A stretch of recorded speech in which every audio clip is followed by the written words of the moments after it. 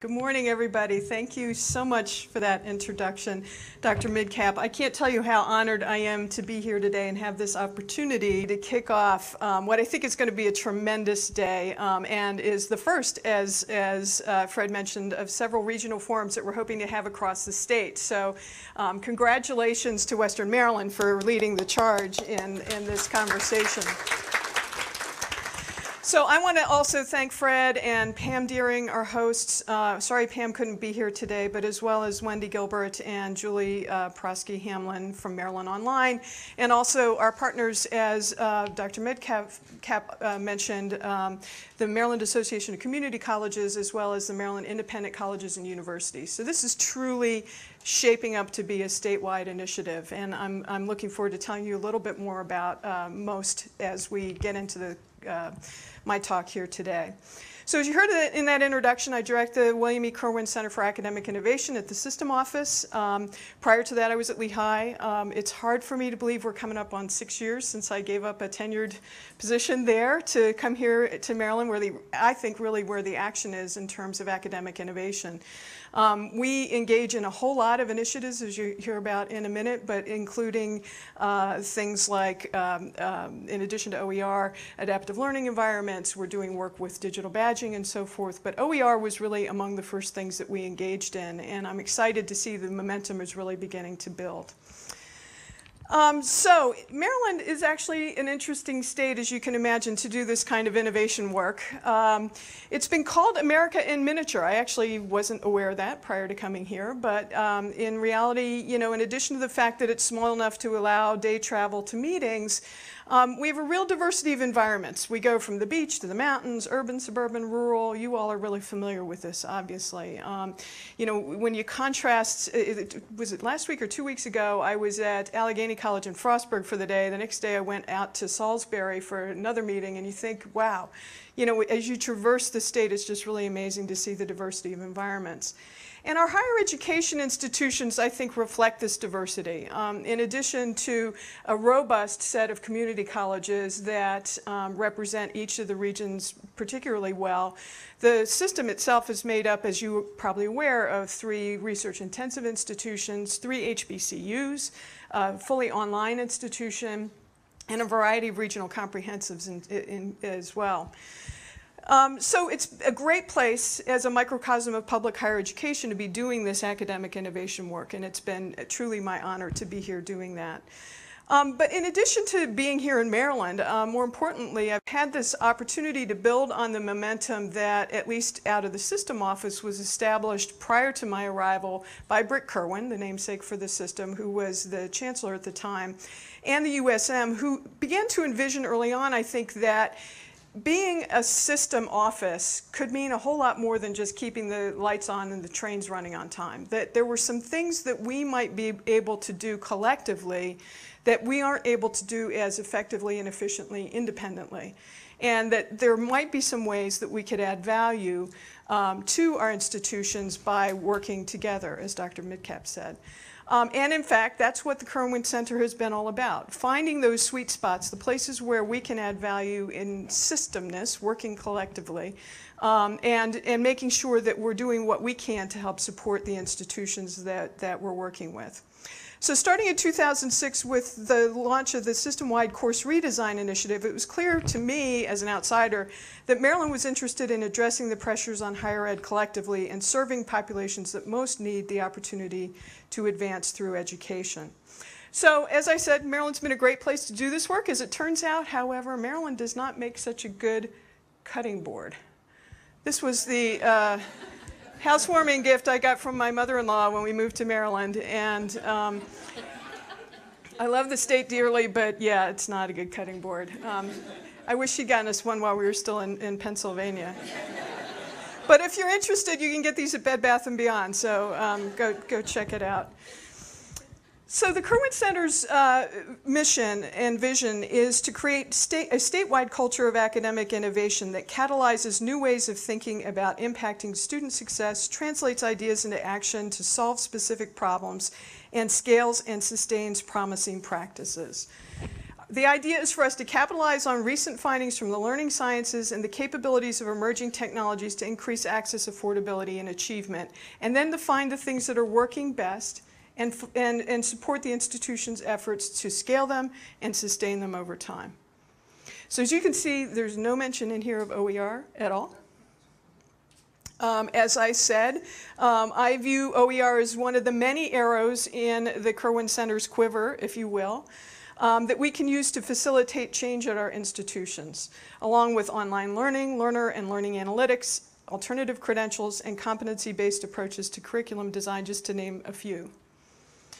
Also, given my background, um, as Dr. Midcap mentioned, I, uh, my background's in instructional design and technology.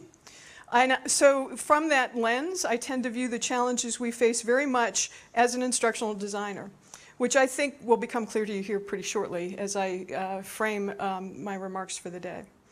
So the Kirwan Center set out to fulfill that mission starting 2013, the year of the MOOC, which you might recall. Oops, went one too far. Shoot, there we go. The year of the MOOC, there's my MOOC joke. And if you've been paying particular attention since then, you know that much of the discussion in the media about innovation in higher ed has been premised on the idea that if faculty would just adopt these bright new shiny objects, somehow miraculously everything in higher education would be fixed. But unfortunately, as many of you may be aware, the history of technology use in education over the last hundred years or so paints a rather bleak picture of the extent to which technology in and of itself can actually achieve this goal. Now, Thomas Edison. It was, in fact, just a little over 100 years ago, in 1913, shortly after he had invented the motion picture, that Edison claimed in an interview that the best use of his new invention would be for educational purposes because it was now possible to teach, there we go, to teach every branch of human knowledge with the motion picture, and that books would become completely obsolete and scholars would be instructed with the eye. He was so enthusiastic over the motion picture's instructional potential that he predicted educational films would change schooling completely within 10 years. Similarly, in the 30s and 40s, it was widely expected that the combined effect of radio's voice sound effects, music, might gain learners' attention and stimulate their imagination. So when educational radio came on the scene, pundits claimed it had undreamed of possibilities for education that would resurrect the oral instructional techniques employed so successfully by famous teachers of the past like Socrates. And my personal favorite, that could have been lifted directly out of a New York Times Thomas Friedman article from 2013, you remember those that he was writing? There will be vast universities of the air with courses taught by national leaders of their field. And so these patterns have repeated over and over again in the 50s and 60s during the baby boom, television was touted as an, effect, an efficient and in, inexpensive way to satisfy the nation's instructional needs. And in the 70s and 80s, mainframe and then personal computers were predicted to provide students access to the personal services of a tutor as well informed and as responsive as Aristotle. It turns out, as one traces the history of technology use in education, there are incredibly clear patterns that emerge. First, this initial enthusiastic claims of the educational benefits. This is going to be the greatest thing since sliced bread. It's going to revolutionize education. Education as we know it will cease to exist. The new technology bowls everyone over as they hurry to figure out what to do with it without a set of guidelines or a foundation in research to suggest best practices. And then come the logistical difficulties. Difficulties with classroom implementation. Little consideration being given to the practica practicability of working with the new technology in the classroom. When educational film came out, there's some great stories um, in some of the New York uh, magazines in the New York City School District um, that talk about the, how the um, film projectors would overheat and then catch fire. really not practical. Um, often uh, radio shows lasted longer than class periods, um, no effort to align content of programs with curricula, and huge expense of purchasing and maintaining the equipment. But the biggest issue often was little to no instructor training, often training in functions rather than what to do with the technologies themselves. So you'd learn how to print. This is where you go to uh, communicate with students and so forth, but no help in understanding how do I incorporate this into my teaching? How do I work with this, these tools in my pedagogy? And consequently, it ends up being a huge lift, heavy lift, as Dr. Midcap said, for the instructors, for the faculty that are trying to incorporate these tools. Then, oops, one too many. Then last but far from least, the research begins to trickle in. Research comparing technology-based instruction to traditional methods that yields no significant differences. And then we dismiss the whole enterprise out of hand on the basis of an underlying lack of instructional substance and move on to the next thing. Sound familiar? Right, we just kind of recently went through this with the MOOCs. Everybody was certain it was going to change education as we know it. And then we discovered, well, holy cow, look, holy cow, sorry. yeah, I, I, really didn't mean that pun. holy cow, um, you know, it, it's, it's, we got all these students dropping out. We have all these students that aren't necessarily benefiting from, from the, the hard work that we're doing in developing these, these technologies. And in the end, the basic act of teaching turned out to be changed very little over the last hundred years despite, despite all the hype. And the technologies that have transformed a whole range of businesses, such as car manufacturing sector, the retail sector, haven't had the same transformative impact on education. For education, like nursing and other labor-intensive sectors that rely on human interaction or activities, the technologies we've had available to us to date simply haven't been capable of producing the kind of growth in productivity, a bad word, but productivity over time to transform the way we're doing business as educators. Stated differently, it takes nurses the same amount of time to change a bandage today as it did 50 years ago, and the same holds largely true for education. It takes the same amount of time for a professor to mark an essay today as it did 50 years ago. These are hands-on, labor-intensive activities. This cost disease was first discussed by William Baumol and Bill Bowen in the 1960s. Um, and at the risk of getting into way too much economics before in the morning, um, let me just describe a little bit of what this, this graph is showing. Um, with, technical, with technological innovations in some sectors, so looking at that top row, productivity increases at a rate similar to or even greater than the rise in wages for the workers in that sector, which results in a decrease in the cost per unit. The problem is with the introduction of those same technologies in other industries like education, the wages still increase, but the productivity does not, as, we mentioned, as I mentioned on the previous slide which results in an increase in cost per units over time. And what, what is really interesting about this that Baumol and uh, uh, Bowen pointed out is that when this happens, the industries in that upper row start to exert tremendous pressure on the industries in that lower, lower row which for higher education at least translates into things like you're not graduating enough students for 21st century jobs, and even the ones that you are graduating don't have the skills we need. So I think it's an interesting matrix here to describe some of these things that we're, we're experiencing in higher education. So that's depressing. It's a rainy Friday afternoon. You're all here to learn how to use OER, and I'm just standing up here and being a buzzkill. But the technologies that have revolutionized other industries and hold such great promise for transforming higher education won't ever lead to meaningful change unless we find a way to break this cycle that we've been observing over time. So how do we do that? Well, let's take a step back for a minute and explore this assumption that simply inserting new bright shiny objects into the mix can fix things. Let's go back to our definitions. I was an English major, Probably not a lot of English majors in this room because we, yeah, there we go. All right, excellent. I, I believe very much in the power of words. Um, so let's take a look at a minute at this definition of technology.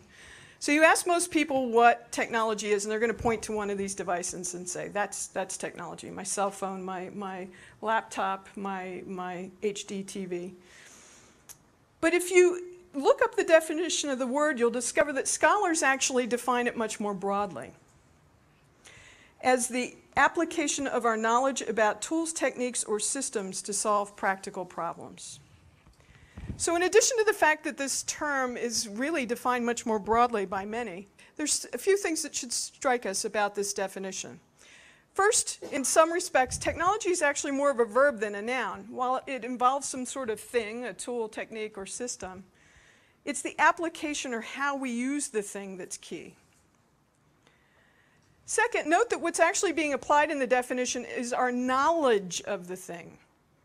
This suggests we must, must have a keen sense of the affordances or action possibilities the thing provides upon which we might capitalize. And I'll talk in a minute about what I mean by affordances. And the third aspect of this definition is that it presupposes some practical problem that we're trying to solve.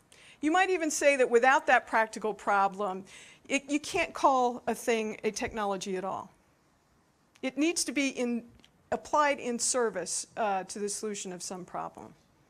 So stated differently, in order for technology to help us get results, we need to really be certain of the underlying problems we're trying to fix and have a thorough understanding of the capabilities of the available tools, techniques, and systems to address those needs.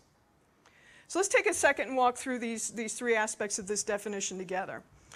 First of all, what is the practical problem we're facing in higher education? Now, I'm, of course, you know, each institution is going to have their individual things they're going to focus on, but let's look broadly across higher education. I think the big practical problem, of course, is boils down to how do we figuring out how we do a lot more with a lot less. During the past 10 years, as you all are aware, the financial meltdown of the Great Recession of 2008 and its aftermath have created funding shortfalls and altered campus revenue streams shifting higher education from what economists perceived as a public good to a private good. The Great, Recession de decimated state budgets, and while we've had financial downturns before, in the past, higher ed eventually recovered from those dollars, but it doesn't appear that's going to happen this time around. Only six states have had higher ed budgets return to, to or surpass their pre-recession levels. And in 19 states, expenditures per student are at least 20% lower than before the recession, leaving higher ed institutions scrambling to find alternate sources of revenue. Now, we've been fairly lucky in, in Maryland over the last uh, couple of administrations. They've been very supportive of higher education, but even here, we're feeling the pinch in our, in our budgets across our institutions. So as institutions seek alternate sources, part of the revenue, of course, comes from tuition increases. A recent study at a Temple found that for every 1,000 in funds cut by the state, colleges raised tuition by about 300. At the beginning of the last decade, college students who went to public universities paid for about a third of their education. Today, in more than half the states, they're paying for most of it. So huge shift in, in um, who's bearing the, the cost of higher education. Additionally, as you all are very aware in the community colleges in particular, our student demographics are changing dramatically. The non-traditional student is becoming the traditional student, with nearly one half of students who are currently enrolled in higher ed now fitting into this category. According to the National Center for Education Statistics, the 17 million Americans enrolled in undergraduate higher education today look very different than when I went to school and most of us in this room went to school. One in five is at least 30 years old. One in four is caring for a child. About half are financially independent from their parents. A quarter take a year off before starting school. Two, in five, two out of five attended a two-year community college before coming to a four-year. 47% go to school part-time at some point, and 44% have parents who have never completed a bachelor's degree. Unfortunately, too few of our four-year institutions are adequately addressing these changes in demographics. I'd argue our two-year institutions are doing a much better job at that and have much been much better prepared for this shift, but the four years desperately need to catch up in many cases. Particularly with respect to these students' constant competing tension between obligations and education, excuse me, family and life obligations and educational obligations. This sends students the message that this place is not made for me and leads to issues with retention. We need to rethink what, who, who today's post-secondary students are and figure out how to serve their needs. But how do we do all that while budgets are shrinking? So if that's the big practical problem, what do we know about the tools that we have available to us? The key to understanding what the tools provide is in having knowledge of what psychologists call affordances, as I said earlier. An affordance is the relationship between the tool and an individual that affords the opportunity for that individual to perform some action. So, what the heck do I mean by all that? Well, for example, a switch affords flipping, a button affords pushing, a knob affords twisting. We can walk up to any of these light switches and just by the way they look, understand how we should interact with them in order to make something happen. That's an affordance. Affordances of tools can be used both to suggest and also to help shape action. So you've seen these now all over the place, right? Um, you know that you can't get your bottle into that little skinny blue slit. You're going to have to put it in the green round hole, right? That is an affordance that helps to shape action um, by the people using the tools. And in some cases, the tools affordance can also create barriers to action. This is uh, from the cover of a book called Donald, or called uh, "The Design of Everyday Things" by Donald Norman, um, who is kind of my guru about this whole conversation uh, with respect to affordances. So affordances can create barriers to action. This is a great example, but think about the extent to which some of our facilities create barriers to action. This is a really difficult room in which to teach a flipped course for example. This room shapes the action of lecturing and prevents other kinds of activities from going on. So with the understanding that we have of the practical problem for higher ed and at least beginning to understand what we're talking about with respect to affordances of tools, the next step is to decide exactly how we'll make best use of those tools and to figure out how we avoid the temptation to use the tools to do things the same way we've done them in the past. This functional fixedness, as psychologists call it, was illustrated by Maier's two string problem in 1931. The participants were required to figure out a way to tie two strings together, even though when holding onto one string, the other was out of reach. A variety of objects were available in the room for use in the solution of the problem, like you can see on the desktop there, including a pair of pliers. So as you can imagine, most of the participants walked into the room, grabbed the pair of pliers, and used them to try to extend their reach toward the other string, which didn't work. It wasn't far enough. Can anybody imagine what the solution was? Thinking differently about the affordances of the pair of pliers? There you go. I see the pendulum going back there. Yeah. There you go. The weight of the pliers was the affordance to capitalize on here. So the solution was to tie the pliers to one of the strings, get it swinging, and then you could grab it while you were holding onto the other string. Whole different way of looking at that tool and thinking about the application of it in solution of a practical problem. Functional fixedness.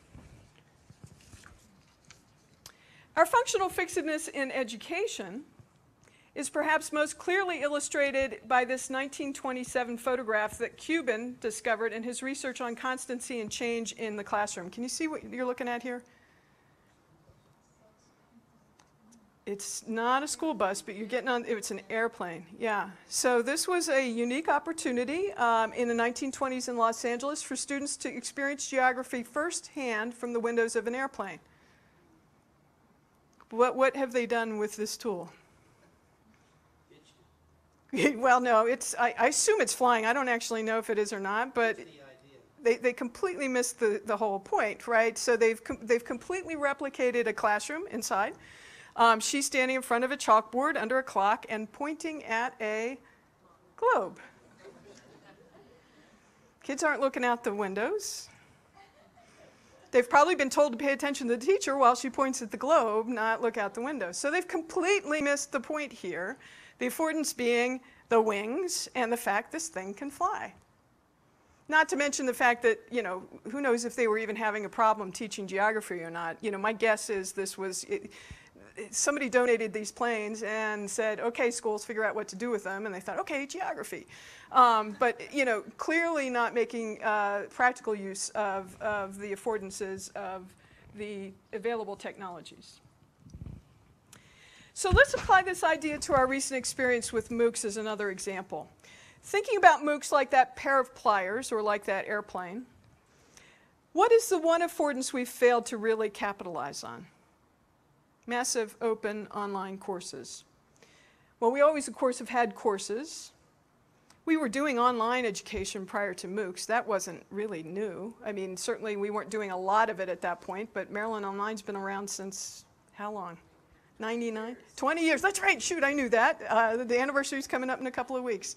Um, 20 years we've been doing online, so MOOCs didn't bring that new to us. Um, open, you know, we can have a whole conversation about whether MOOCs are really open or not. Um, most people in the OER community would say no, no, they're not. Um, they're just free. Um, the one affordance that I think we really missed out on was this massiveness piece. Sure, we used massiveness to, you know, to exhaust this whole idea about scalability of education. But what about the opportunities that massiveness can afford for community connections and worldwide collaborations among learners?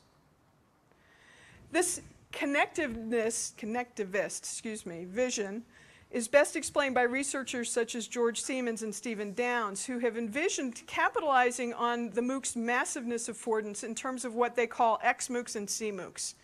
So what they said was, sure, go ahead and, and scale, use the scale part, the XMOOC, Use the scale part of massiveness to increase access to learning about core skills, concepts, those sorts of things.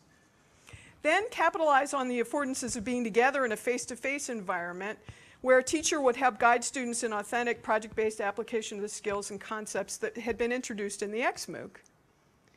Then go back into the MOOC environment in something they call a connectivist MOOC, a CMOOC, that capitalizes on how the massiveness brings folks together to do things like crowdsourcing solutions to wicked problems and building community around doing. That is a really unique use of the massiveness affordance and looking at it very differently like the weight of that pair of pliers. Thinking differently about how it can help us do things differently in teaching and learning. That's what I'm talking about when I'm talking about technology. So now I'm into this, how long have I been talking up here? About uh, 20 minutes or so, and I have not yet mentioned OER. So how are we doing with OER? Well, just like the massiveness of MOOCs, it was going to scale education and make it affordable and accessible to the masses. The freeness of OER has been the thing everybody has jumped all over. And there's no question that the OER movement has made huge strides along those lines. Please don't get me wrong, saving students money is very, very important. But have OERs begun to change the way we do things? Or are we simply replicating what we've always done in the past, swapping textbooks for OERs and calling it a day? As I said, please don't get me wrong, I love free stuff. Free stuff actually got UMUC on Jeopardy not too, too long ago. I don't know if you all were aware of this. Um, the answer, of course, is, the answer is? No, the answer is, what are textbooks? Thank you. In the form of a question, please. So, you know, free can be really good. In fact, when you talk to legislators, they love free. In fact, um, it was, uh, gosh, now it's going to be three summers ago that I had the honor of uh, speaking to a joint uh, committee of the Senate and delegates in Annapolis about the work we were doing with OER, along with uh, then Provost Marie Cini about what they'd been doing at UMUC. Um, and boy, I got to tell you, as soon as you start talking about millions of dollars in student savings, their eyes just light up and they say, okay, what can we do to help? Um, this is a picture from the bill signing in 2017 for the Textbook Cost Savings Act, um, which charged the MOST initiative with beginning to do exactly the work that we're starting now to, to begin creating this environment where we can be having this statewide conversation about how to increase efficiency and effectiveness in our OER work at our institutions. Um, we were honored with uh, to have gotten $100,000 to support that work, and that's actually the that supported largely supported the summit that we did in December of 2017 um, that brought everybody together as an initial launch of this work. Um, and I say honored because usually, as you may be aware, um, budget monies in the state budget don't ever get added during the legislative session. They only get taken away. The, it- Maryland's unique in that sense that uh, the state budget gets set and then all legislators can do is strip the stuff away. This actually got added to the budget this year, that year. So um, the governor is very supportive. Um, we actually went back to the governor this year for some additional funding that didn't happen, but the governor's office is still really interested in continuing the conversation. So everybody cross your fingers next legislative session.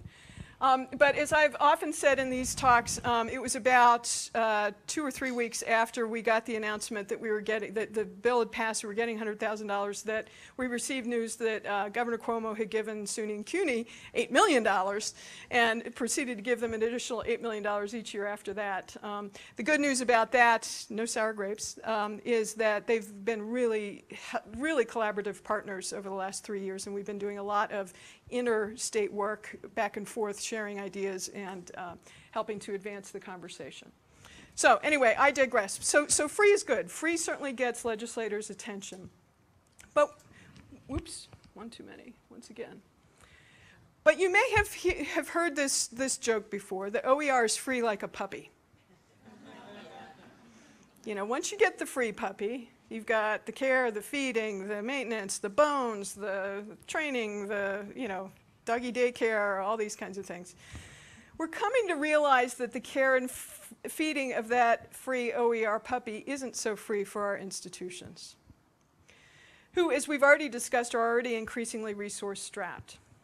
Several of us, including SUNY and CUNY and other statewide initiatives, are trying to figure out what OER is in fact going to cost our institutions per student per course in terms of actual dollars and human resources expended.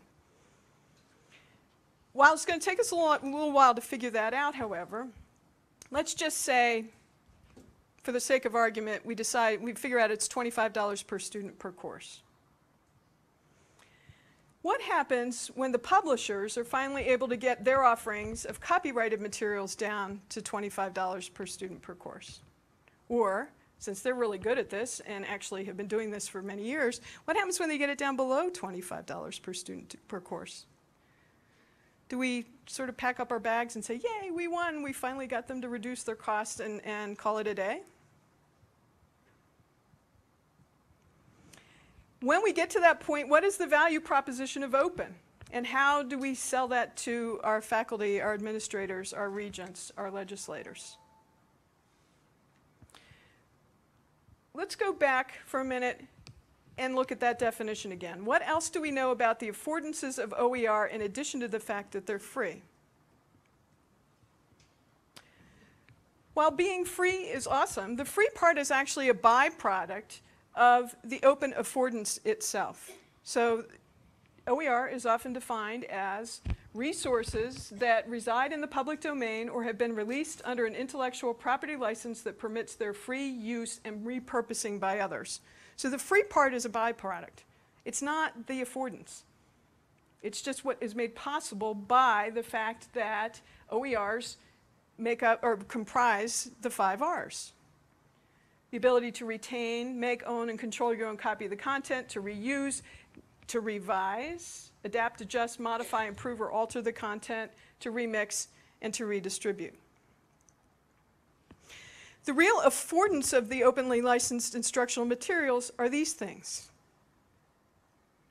Those are the affordances we should be focusing on.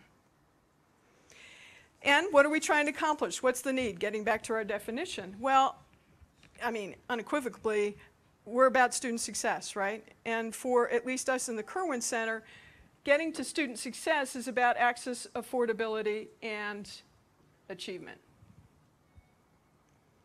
And the OER movement has been doing a really great job across the bottom because things are less expensive. We've been able to increase access. We've been able to provide day one access to materials and so forth. But I would argue we've, as Dr. Midcap mentioned earlier, we've spent less time focusing on the top of that iron triangle. And I call it an iron triangle because the reality is, in the past at least, increasing all three of these things simultaneously has been almost impossible. As you increase achievement through higher quality, typically you're increasing costs at the same time and maybe decreasing access too. As you increase access, it tends to become more costly. So these things have a reciprocal uh, uh, relationship that can make it very difficult to, to, to simultaneously move the needle on all three. I actually think OER, openness, is going to get us there. I actually think OER is the super affordance.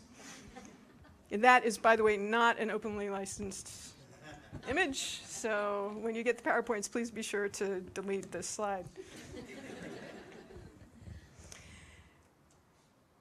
I think that OER and open in particular can be that super affordance, but only if we're willing to build on the successes we've already realized based on the free part and use the affordance to also change the way we're currently teaching, using data more effectively to assess the impact on student achievement, and then redesigning when we discover when, that we haven't gotten things quite right.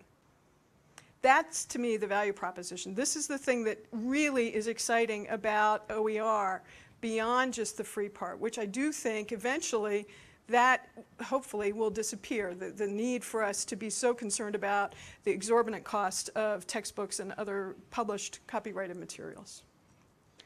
So what I'm talking about here, of course, is a continuous quality improvement loop. Um, this is the instructional design version of that, the ADDIE model, where you analyze, design, develop, implement, evaluate, and then repeat the cycle. I don't, it doesn't look like you can see the circle there, but there's a circle with arrows that goes uh, in a clockwise uh, direction. I'm talking about continuous quality improvement, which of course is a term that isn't often used in higher education. And it's going to require fairly significant culture change in our institutions in order to implement. So let's come back to a minute to, to that not so free OER puppy, which I am really seriously worried about. Um, and this was a message that I delivered to the um, um, open ed community when I had the opportunity to, to give this talk then as well. Our higher ed institutions are in no position to take on all the roles that publishers have served for us in the past. I was at UMUC actually and have been doing some consulting there, and um, as you're probably aware, they've moved entirely to what they're now calling zero cost instructional materials because they've come to realize as quickly as they made that transition, they didn't actually, they weren't able actually to keep up with the digital rights compliance and uh, um, not all of the materials are necessarily open, although they're, they're going back to fixing that now. And, and one of the faculty there looked at me at one point as we were having this conversation about what OER meant for higher education, and she said, well, we're essentially trying to take on the role of publishers. And I thought, holy cow, once again. Um, you know, how will our institutions do that? How will our resource straps in institutions, you know, the, the, I know for a fact in the, in the system, you know, Coppin State University where we've got students that really desperately need access to less expensive instructional materials and support in their learning, you know, how is a Coppin going to manage this? In order to sustain this work, we've got to find some ways to create efficiencies across the sector to avoid bankrupting the very institutions we're serving, who are also serving the students we're most trying to help. We need access to inexpensive digital rights and accessibility compliance services. We need better support for curation, including national standards around meta tagging and cataloging for OER discoverability.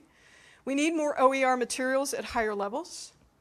We need training for faculty and students on how to teach and interact with OERs. Again, one of the things UMUC has been finding is that there's a whole new conversation around academic integrity as we begin to work with OERs in our courses.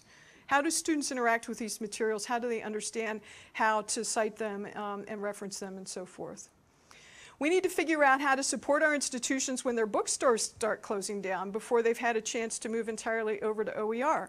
Um, uh, Dr. Metcalf mentioned the, uh, the MAC meeting that I had the opportunity to speak at, and the president of Chesapeake College asked me that very question.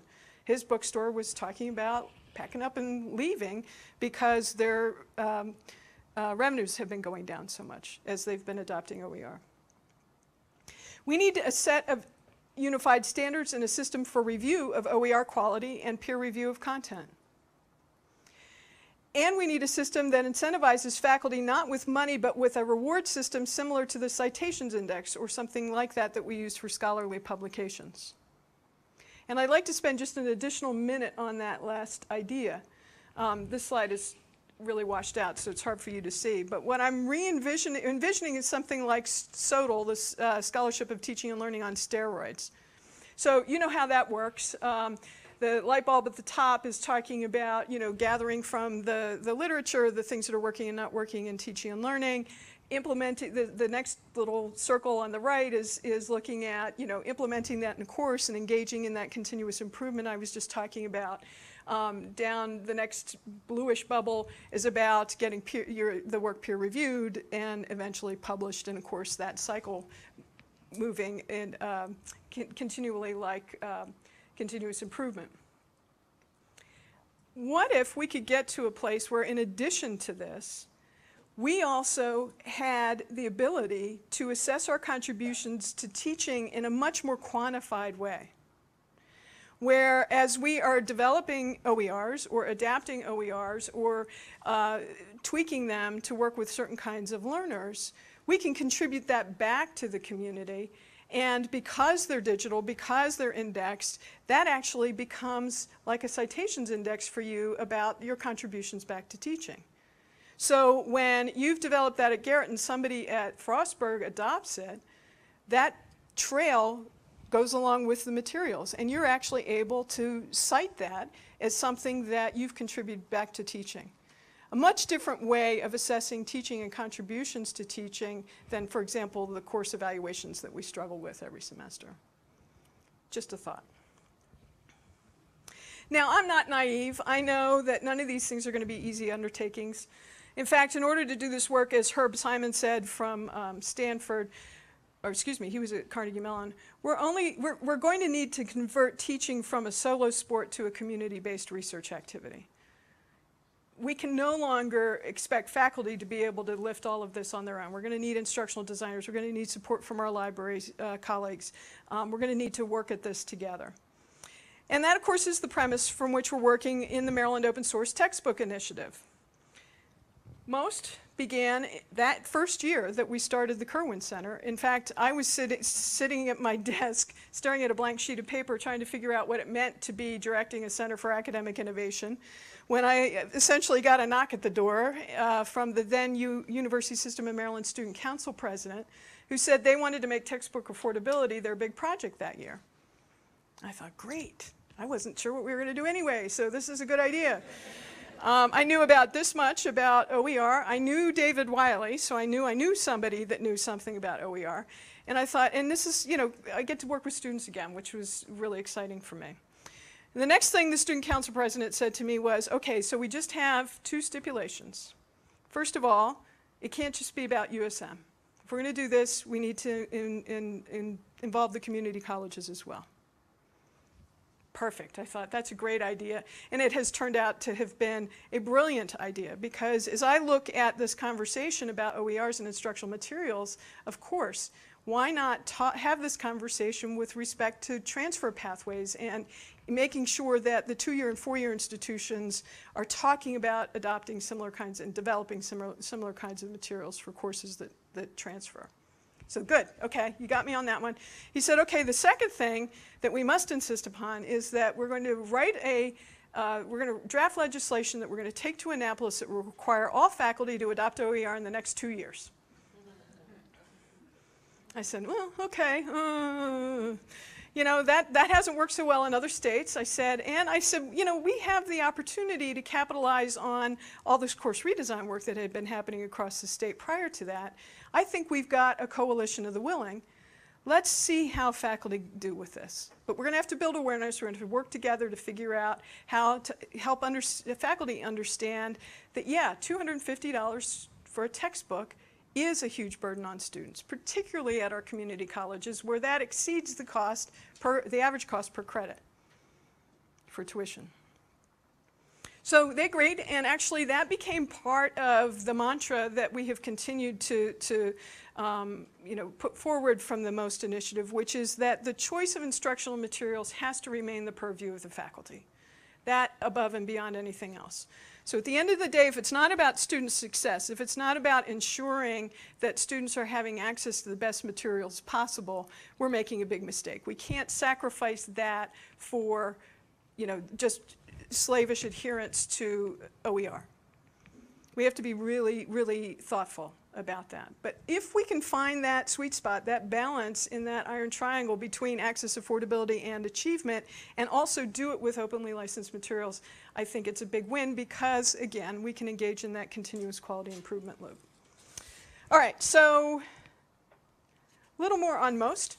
Um, we've just recently gone back and looked at uh, the mission for MOST um, which, as we talked about earlier, is being led by the Kirwan Center, but in partnership with Maryland Online, uh, the Maryland Association of Community Colleges, and the Maryland uh, Independent Colleges and Universities Association, so MAC, MICUA, and Maryland Online.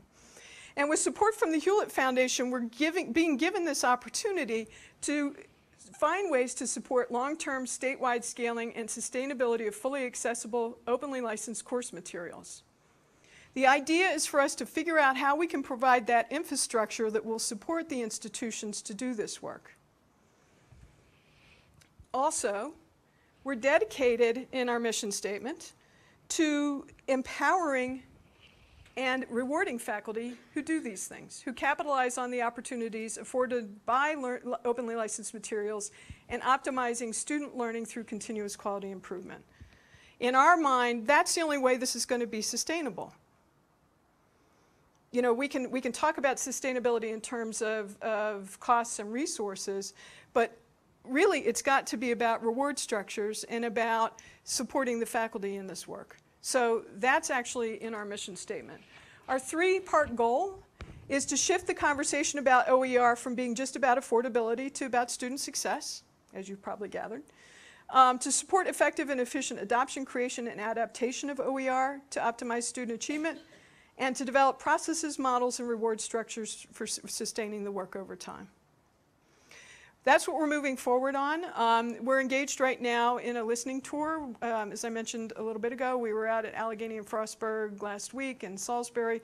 We're having conversations at the provost level to understand, first of all, what is the institutional commitment to OER, where do they fall on the, the XY axis of looking at OER in terms of cost versus looking at OER in terms of revolutionizing and transforming teaching and helping the institutions think that through a little bit, and then doing what we can to help support that. So some of the ideas, for example, we are in the process right now and will be soon launching for the May 28th event, uh, a centralized OER repository the MOST, um, well, we're calling it a referatory because we want to be sure it's not a siloed experience, which is a place where I am really hopeful that some of those two-year and four-year conversations can occur about adoption of materials and that you'll be able to find out whether other institutions in the state are using and of course beyond as well. But the idea being to provide that inside intel into what's happening within Maryland too. Um, we're going to be developing a, uh, uh, through that resource a variety of learning communities, both discipline-based, but also, you know, learning community for library staff, for instructional designers, and so forth. Um, and we're looking at a lot of other ways to support this work across the state, and we're really open to ideas. And I'm hoping that some of those ideas will get generated today as you're in your discussions. So in conclusion, uh, see? Parting thoughts. I have to admit I'm not altogether sure any of this is really about OER. Um, you know, as I mentioned at the outset, um, you know, the Kirwan Center is, focused on change and, and supporting change in higher education. And as I look at OER, I think that's one of the mechanisms that we can use to support this kind of change. But as I said to the open ed community, at the institution level, yeah, we love it. We think free is good but we're a lot more interested in the ways in which OER can support other things, and we need that community to support us in doing that. This is where the rubber meets the road on this. As I've said before, technology I don't think in and of itself will make a difference until we find ways to capitalize on that openness affordance in order to really change the way we teach in order to avoid this temptation that we have as human beings, not just as educators, but as human beings, to take a new tool and use it to simply replicate what we've always done in the past. Let's try to get past simply swapping out the, OE, the textbook for OER and calling it a day, and really explore the ways in which it can impact our teaching and learning as well. So that's all I have for you today. Thank you for your attention. This is the link to the new uh, MOST website. Um, if you're interested in, in taking a look at that as you get a chance today, it's also in your materials in the um, in the folder. And I've got like three minutes. I told you I wasn't going to. Or no, do I have 15? We've got a little time for some questions if you guys are interested. Have something. For many of us um, who actually support teaching, I'm in the library, um, it, has to do with sustainability of digital um, repositories and, and once these uh, materials are created, how are they going to be sustained? I mean, many faculty we find are storing them in their CMS, um, and uh, so they're not all that accessible. Um, and of course, there are a lot of um, organizations out there like OER Commons and, and that um, allow uh, creators to upload um, and make these av- available. But the cost that's involved in, in sustaining these um, from a technological standpoint, uh, you know, what, what other thoughts have you encountered or are, are people talking about? Yeah, I don't, uh, thank you for that question. Um, First of all, I don't think I mentioned the refer- referatory will be an OER Commons-based uh, uh, referatory, so we're going to be developing a mini site, as they call it. And um, that will allow also for the creation of institutional hubs, as they're calling them, where you can, each institution can have their whole, whole own identity and, and then create groups within the institution and so forth. So I'm hopeful it's going to enable a lot of networking. We actually are meeting on Monday for most of the day with the folks from ISKME who run OER Commons to, to talk through how all of this is going to work. Um, so, so I'm hopeful that as we begin rolling that out, if it is in fact useful to the institutions, that at the very least we can encourage faculty to link to materials that are in that site from the LMS instead of uploading those materials in the LMS and leaving them, as you said, stranded there behind a, a login. Um, but the, the whole question about versioning and you know how how do you get these resources to phone home as i've heard it called you know and like actually let uh, some mothership know that you know that uh, mj just changed this resource because her students didn't understand chapter four and she changed all the examples there. Um, that's a huge big conundrum that's actually being addressed to some extent at the national level both by ISKME again the, the oer commons folks and creative commons and they're all trying technologically to figure out how to do that. Um, I don't understand all the technologies behind it, but I know it has to do with indexing and meta tagging. And we're tapping library expertise because of you know the background you all have in the library sciences in those areas. Um, so I'm hopeful some of that's going to be resolved eventually, but yeah, it's, it's, it's difficult. The other big question is the introduction of bias into these kinds of materials, right? You know, or maintaining them for accessibility, you know, making sure that our faculty understand as they create new things, they could be resaving the document in a way that suddenly then makes it inaccessible. Um, so, you know, there's going to be a lot of those kinds of things that we have to tackle, and I'm hopeful that as we do, that, that a collaborative like this, a statewide collaborative like this, can help to support some of that work. So not a final answer to your question, but at least some things that we're thinking about um, to address those issues. Thank you. Yes, ma'am. Where can I find more research that talks about not only affordability, but impact? Yep. Good And not question. just perception? Right, right. So um, we have some of that on the website, I believe. Don't we have some research uh, uploaded? Yeah, so, so there is some research um, that's on, on the website, but this is still a nascent area uh, for research. Um, What a lot of the research on student achievement and learning outcomes has been with respect to has been having access to materials on day one. Um, and of course, what they're saying is obviously if students don't have to wait three weeks for their financial aid check to arrive in order to purchase their textbook, they do better in their course, son of a gun. Um, you know, so, so, you know, that's been important work. I don't mean to belittle that, but um, I think you're absolutely right. As we continue to have this discussion about what does it mean to be able to engage in improvement, continuous improvement of our instructional materials, how will that impact our research over time? So here you go. This is this this can be your area of research. So yeah, good, good. Well, and actually, um, so that's another thing that we hope to support out of the MOST initiative is is finding those folks that are interested in doing research on that impact, and coming up with a set of shared measures, um, metrics that we would explore collectively, and perhaps also providing huh, some funding along the way um, to support that work. So. We're really interested in that piece of it because that's also going to help to, to uh, power more adoptions, right? You know, you got to demonstrate that it's going to work and that, it's, that it goes beyond just do no harm um, and saving student money, that there's actually some benefit. Thank you. Yes, ma'am. Behind you. I'm pleased that uh, you're establishing learning communities under this larger umbrella. And my question, uh, as well as my hope, is that it will lead to inter-institutional collaborations, mm-hmm. that the development of these materials will transcend the umbrella of individual institutions. Yes. And I'm hoping you can speak to that. Absolutely. So I, I touched on this a little bit. I don't think I was real articulate about it, but my my vision. I, talk a lot about hiding the broccoli and the mashed potatoes. Did I say that earlier? You know, that the, you know, I, th- these, I, I like to find ways that we can accomplish other things that we're really trying to do, like um, improve two-year, four-year conversations about transfer pathways and um, making sure that we're sharing not just instructional materials, but also um, maybe taking a hard look at learning objectives and, you know, what, what each course is supposed to result in for our students. So um, I'm hopeful that this work and these conversations in the learning communities can actually help to advance those conversations as well.